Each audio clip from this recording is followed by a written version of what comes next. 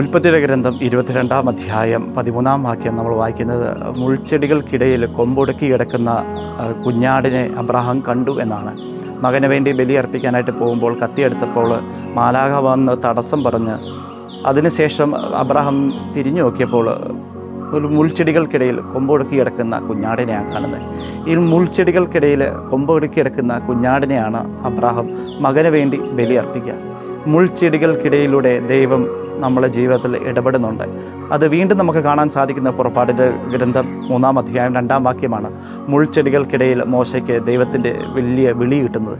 നമ്മുടെ ജീവിതത്തിൽ സഹനങ്ങളിലൂടെ കർത്താവ് കുറേ കാര്യങ്ങൾ നമ്മളെ പഠിപ്പിക്കുന്നുണ്ട്. പലപ്പോഴും നമ്മുടെ ജീവിതത്തിലെ സഹനങ്ങളെ നമ്മളെ മാറ്റി നിർത്താനാണ് നമ്മൾ ആഗ്രഹിക്കുക. ഇതൊന്നും ജീവിതത്തിൽ പാടില്ലാത്ത ഒരു കാര്യമാണ്. എന്റെ ജീവിതത്തിൽ ഒഴിവാക്കേണ്ട കാര്യമാണ്. സഹനങ്ങൾ മാറ്റിയെടുക്കാൻ നമ്മൾ എവിടെയൊക്കെ പോകാറുണ്ട്. പക്ഷേ സഹനങ്ങളിലൂടെ കർത്താവ് നമ്മളെ കുറേ കാര്യങ്ങൾ പഠിപ്പിക്കുന്നുണ്ട്. ആ പഠിപ്പിക്കുന്ന കാര്യങ്ങൾ ദൈവത്തിന്റെ വലിയ വെളിപാട് ഒന്ന് മനസ്സിലാക്കുവാനും ഗ്രഹിക്കുവാനും സഹനങ്ങളെ ജീവിതത്തോടെ കൂടുതൽ ചേർത്ത് വയ്ക്കുവാനും നമുക്ക് സാധിക്കട്ടെ. ദൈവം നമ്മളെ അനുഗ്രഹിക്കട്ടെ. ഈ വചനം നമുക്കൊന്ന് ഭക്ഷിക്കാൻ സാധിക്കട്ടെ. മുൾച്ചെടികൾക്കിടയിൽ ദൈവത്തിന്റെ വലിയ അരുളപ്പാടുണ്ട് ദൈവത്തിന്റെ വിളി വിളിയുണ്ട് എന്ന് നമുക്ക് മനസ്സിലാക്കാൻ സാധിക്കട്ടെ. ആമേ